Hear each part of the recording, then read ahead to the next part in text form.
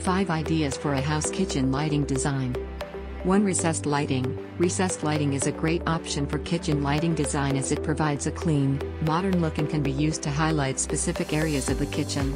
This type of lighting can be used to highlight the work surface, the sink, or even the backsplash.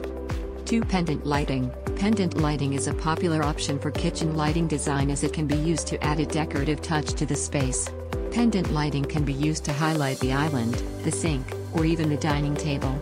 It comes in a variety of styles and sizes, making it easy to find one that fits the overall aesthetic of the kitchen. 3. Under cabinet lighting. Under cabinet lighting is a great option for kitchen lighting design as it can be used to highlight the work surface and provide task lighting. This type of lighting can be used to make food preparation and cooking easier, and it also helps to reduce shadows and create a more even light distribution.